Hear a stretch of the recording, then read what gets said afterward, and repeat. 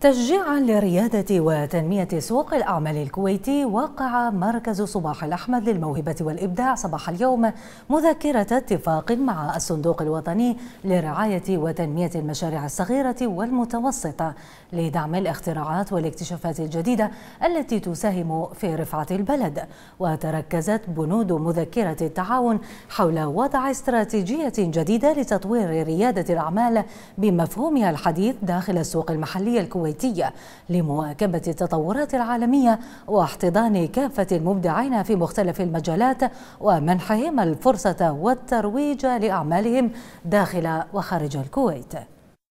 هم ومشاركتهم اليوم مو كمزود خدمات أو إحنا مزودين خدمات ولكن شراكة فعلية استراتيجية بين الجهتين لتنفيذ ما يحتاجه السوق المحلي من تطوير وتنويع للاقتصاد ومصادر الدخل. وإيجاد احتضان المبدعين وإيجاد آه، الطريقة اللازمة لهم لإنشاء أعمالهم وشلون استدامتها والترويج لها داخل الكويت وخارجها إلى آخره.